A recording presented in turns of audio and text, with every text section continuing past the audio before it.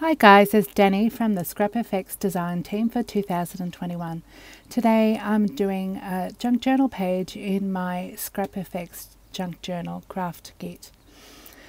It's a nice easy one today, so I've opened up the craft junk journal and I've just selected a page. This is the front cover and the first page of my junk journal. And I'm just going to lay down some colours. I'm being a little bit more organic, I don't want to cover up all that beautiful kraft paper. So I'm sort of paintedly popping down little splotches of paint and also doing a little bit of mark making as well. So just sort of randomly brushing that paint on and not trying to cover up all the background completely with paint. But again, still sort of um, making some marks and and doing a little bit of brush strokes as well as just sort of brushing the paint in.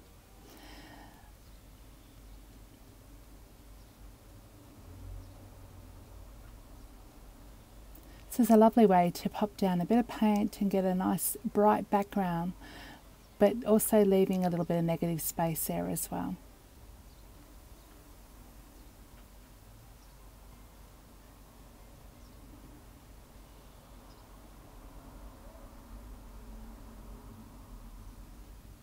So just going back over on some of that translucent yellow paints, just giving it a second coat and adding a little bit more red in there just where I've lost the first start of the brush strokes in the red. So just layering the colours up, giving it a quick dry and now I'm using one of the Scrap FX stencils. This one's called Crossword Stencil and I'm just adding that tealy tone throughout the background now and just extending those little little cubes right up to the edge of the page. Now this is a second um, Scrap FX stencil. This one is called Moroccan Tiles. And I'm just using a little bit of red to stencil that in as well, just to give it a little bit more mark making in the background there.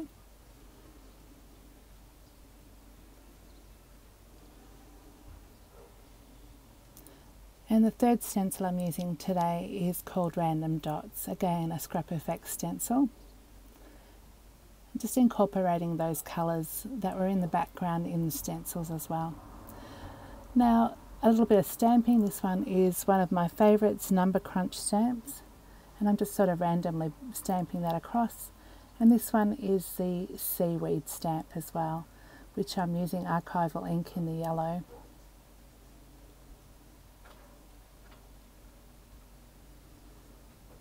Now to my Posca pens and I'm just going to doodle over the top of those stamped areas and the stenciled areas. Just making a little bit more mark making in the background with a little pop of colours from the Posca pens. Some little dashes over those crossword stencils and now just a bit of doodling around those little circles from the random dot stencil as well.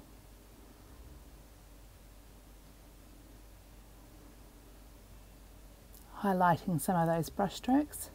Now this is the um, rice paper, it's called Scribbly Faces B. I've used a wet paintbrush and I'm just sort of tearing away at the excess paper. This gives me a fuzzy little edge and so it sort of incorporates into the background without those harsh lines. It's a great way of adding rice paper to your art journal without having all those um, harsh lines. And I'm this time going to use it um, without putting any gesso on the back. I want them to be sort of translucent and have all that colour popping through the rice paper.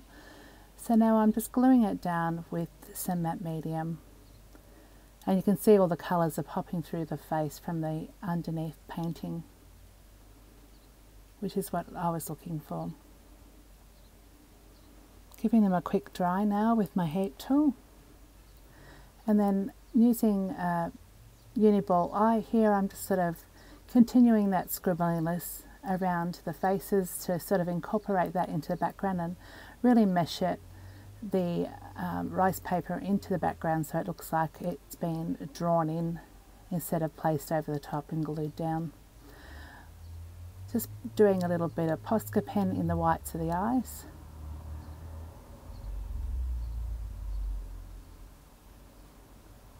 And now I'm using some chunky Stabilo colours to colour in the eyes here. I'm just picking up a little bit of the colour from the tip of the pencil with a wet paintbrush. And so just watercolouring those over the top of the rice paper.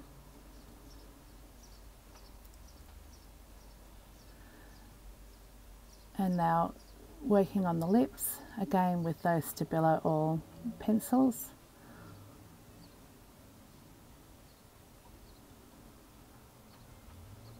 And now I'm adding a little bit of that mark making over the top of the rice paper too. This really incorporates the rice paper into the background so it really meshes together.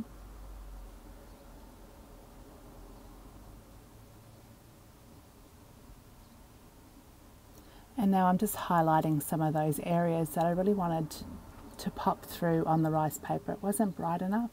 So again, I've just gone back to those chunky Stabilo pencils and I'm just adding a little bit more colour just to make those faces really pop on the page.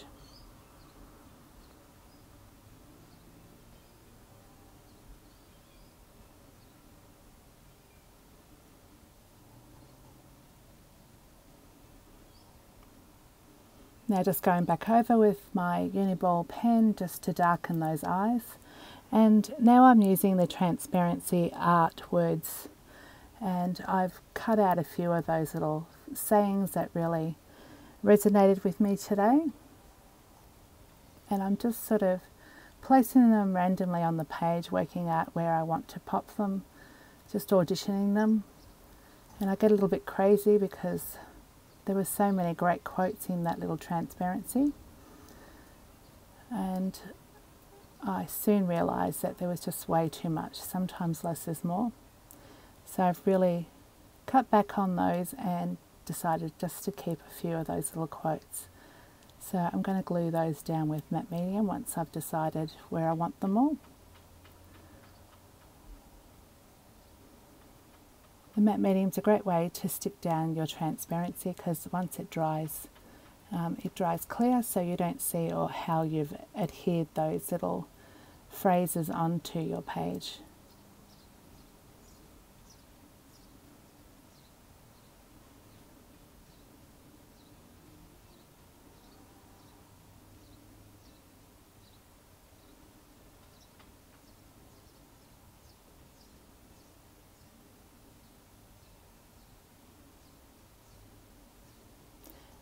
Now I've just used the Stabilo All just to put a little bit of shadowing around those phrases as well. So I've just um, wetted them down now and I'm just activating that Stabilo all around just to give the, the little phrases a bit of a pop off the page as well. Give them a bit of a shadow behind them.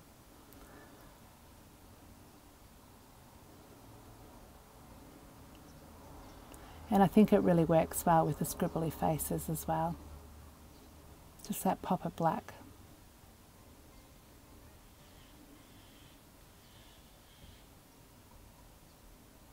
And of course, what page wouldn't be finished with a bit of fluoro? So just put a blob of paint down and I'm watering that down to a nice consistency to splatter onto the page.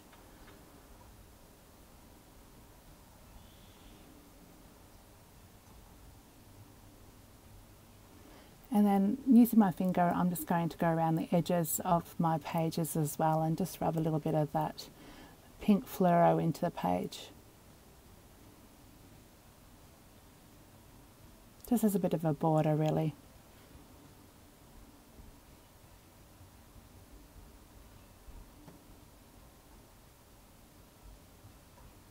And that's it. One page, very quickly made and if I don't say myself, it's come up really well. So I hope you have a go at these um, Scrap FX rice papers. They're a nice way to get a quick page out. Thanks for watching. Please leave us a comment and a thumbs up and we'll see you next time.